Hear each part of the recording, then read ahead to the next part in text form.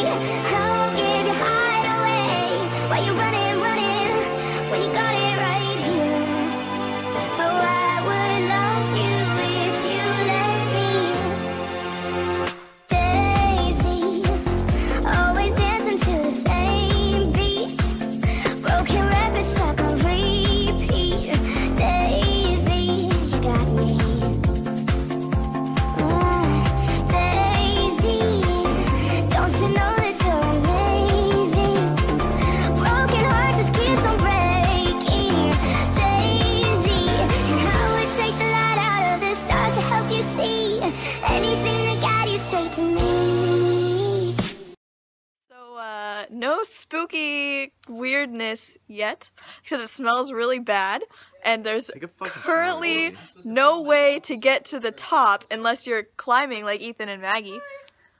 Please like and Uh, so we're gonna see if we can get to the top without um, climbing, and also there's a bunch of things that say no trespassing.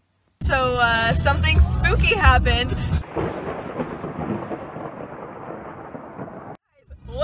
What just happened? Ethan got possessed. at Disneyland for prostitution with a minor.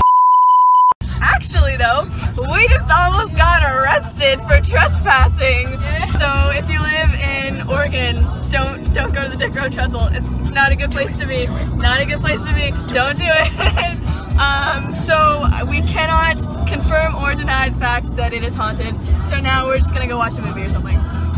Okay, guys. So I am back home now. Um, we went back to Ethan's house after that and watched the movie Airplane. Um, and now I'm just home and I'm gonna get ready for bed and go to bed. Um, but I just wanted to say thank you guys for watching, and also I just wanted to say a little quick disclaimer. Um, I do not normally do illegal things such as trespassing, and you should not either. So don't do what we just did in this video. But uh, even though it didn't really go where we were expecting it to go, I hope you still enjoyed watching it. Um, if you did, make sure to give it a thumbs up. Also, you can leave any questions or comments down below. Also, make sure that you're subscribed to my channel so you can see all my future videos where I do um, not illegal things. and I will see you guys next time. Bye!